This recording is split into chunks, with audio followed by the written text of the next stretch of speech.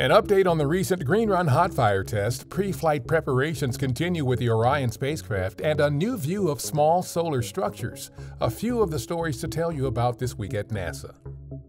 Preliminary review following our January 16th hot fire test of the core stage of our Space Launch System rocket shows that the rocket's hardware is in excellent condition. Officials say the shutdown of the planned eight-minute test just over a minute into the firing was triggered by conservative parameters intentionally put in place for ground testing to ensure the safety of the core stage when it is mounted in the B-2 test stand. If this scenario occurred during an actual flight, the rocket would have continued to fly. The team is evaluating next steps for SLS, which will launch an uncrewed Orion spacecraft to the moon on our Artemis 1 mission. Meanwhile, the Orion spacecraft is a step closer to being ready for the Artemis 1 mission to the moon. Engineers at our Kennedy Space Center recently finished installing and testing components, systems, and subsystems to ensure the spacecraft can accomplish the mission. Orion was then moved to another facility for fueling, marking the spacecraft's transition from the manufacturing and assembly stage to pre-flight processing. Data from our Solar Dynamics Observatory and cutting-edge image processing have given scientists an unprecedented look at small solar structures called plumelets within the geyser-like solar plumes we see that stream material from the sun into space and play a large role in creating the high-speed solar wind.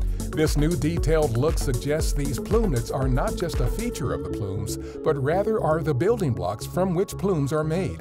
The research could help scientists understand how and why disturbances form in the solar wind. January 23rd marks the 80th anniversary of our Glenn Research Center in Cleveland, Ohio. The center began as the Aircraft Engine Research Laboratory in 1941, a national resource for innovation in aircraft engine technology.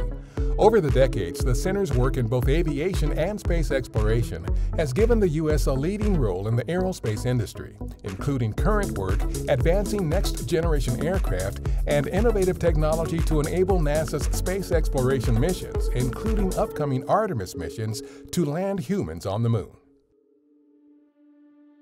Our NASA family is remembering NASA television production manager Cliff Feldman, who passed away January 14th from COVID 19. His storied television career as a videographer and producer included work at ABC, CBS, Fox, and elsewhere before coming to NASA in 2005. He played a major role in the success of some of the agency's highest profile productions, including the Apollo 50th Anniversary Special and nationwide coverage of the 2017 total solar eclipse.